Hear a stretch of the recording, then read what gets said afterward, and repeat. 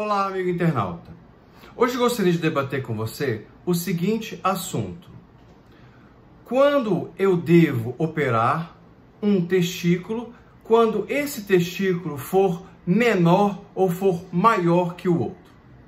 Bom, primeiro deve-se entender o seguinte: é normal entre todos os homens o tamanho de um testículo não ser diferente, não, não ser igual a do outro testículo. Pode ser igual, mas até 20% do volume testicular é, pode ter é, essa diferença. Um testículo pode ser 20% maior que o outro. Bom, é, ah, se, se você está dentro dos 20%, é, não tem problema. Agora, se um testículo, por exemplo, for o dobro do que o outro, aí é, pode ser que seja necessário fazer uma cirurgia. Só que entra aí uma coisa muito importante, o diagnóstico. O que é que está acontecendo com o testículo que ficou maior do que deveria ser ou o testículo é, que está de um tamanho menor do que deveria é, é, ser normalmente ou diminuiu do tamanho que estava? Bom, então fazendo o diagnóstico, por exemplo, uma hidrocele, que é um acúmulo de líquido, né? um aumento de testículo sem dor, o câncer de testículo, né?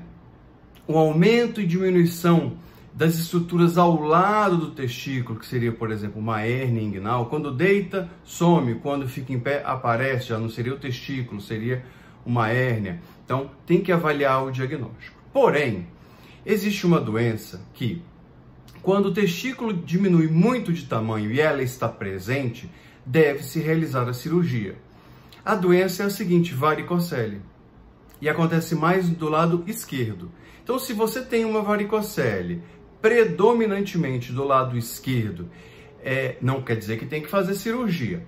Agora, tem a varicocele do lado esquerdo e esse testículo diminuiu de tamanho, está menor do que o outro, numa proporção menor do que 20%, isso somente o médico vai poder dizer se for se é 20, 30%. Agora, se for metade do tamanho, o paciente já vai poder fazer isso com autoexame. E aí sim, você deve realizar a cirurgia da varicocelectomia para assim impedir que ocorra progressão ainda mais da diminuição do testículo. Afinal, a varicocele, ela é lesiva ao tecido testicular, provocando que é a causa mais comum de, de haver infertilidade. Bom, a grande, a grande regra, a grande, a grande mensagem que eu, que eu queria deixar aqui é o seguinte: veja o tamanho do seu testículo, veja se ele é um maior que o outro.